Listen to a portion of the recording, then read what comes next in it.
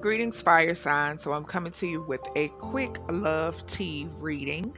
So, let's get started for this 1010 portal. So, um, we're going to start off with your romance angels cards. The first card you received was retreat, and this says it's time to disconnect from the world.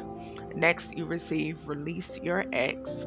It says the time has come to clear your energy. Then we have wedding. It says this situation involves a marriage.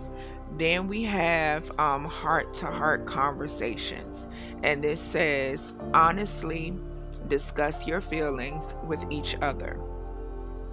Next up, we have your charms and runes. So, um, you receive the dices six and two, which equal out to be eight, which talks about abundance, prosperity, um, and financial well being. Um, then you receive the rune Algiz, and which talks about protection, um, divine protection, and sanctuary. And then you receive the rune Raidho, which is the wheel. It talks about solar chariot and rhythm. You receive the charm butterfly. You receive the music note. You receive the fairy charm. You receive the mermaid charm. And then the dolphin charm. I will have your um, meanings for each charm, bless you, baby, your meanings for each charm down below in the um, description of this video. Next up, we have your description. So my description oracle basically talks about, um, it gives um, identif- like certain identifications or characteristics of people, clothing, facial features, body features, um, whether they're earth sign, fire sign, water sign, air sign, you know, stuff like that. So, excuse me, let's get started. So, the first letter you received was B. So B can be your first initial, uh, middle, or last, or you can know someone with this first, first, middle, or last initial. Air. Um, someone can have air in. You can have air in your chart. You could be a cross watcher. That's an air sign. Okay.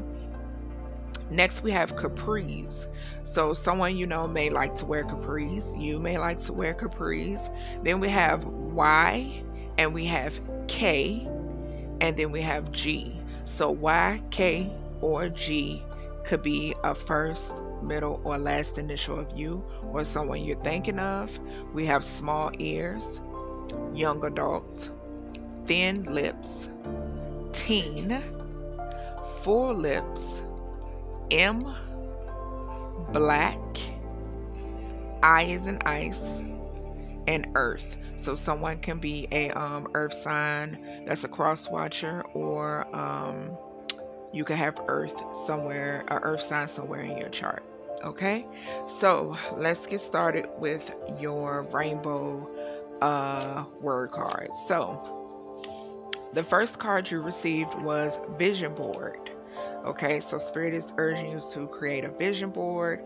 Next, you have the numbers 9, 10, 11, and 12. So something could be significant about those numbers. They could possibly be dates as well. So October 9th through the 12th, or October 9th, 10th, 11th, or 12th. Okay.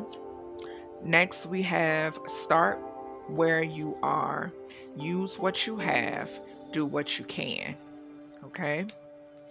Next, we have Ogun.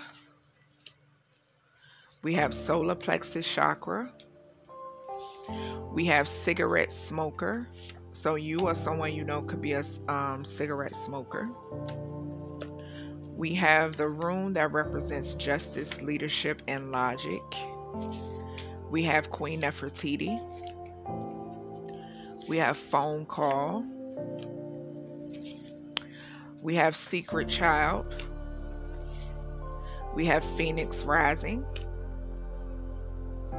We have leap and the net will appear. After that, we have the crown chakra. We have sex demon. We have Aphrodite. We have tap into your creative side. We have wanted to sacrifice you. We have the truth and is not in him or her or them. We have projecting negative energy. We have Supreme Court. And we have lover, family, or friends. Okay? So that is everything I have for you, fire signs. I hope you enjoyed this quick love tea 1010 portal reading. If you did, make sure you thumbs up this video, um, subscribe, comment if you choose to, and I will talk to you guys in the next video.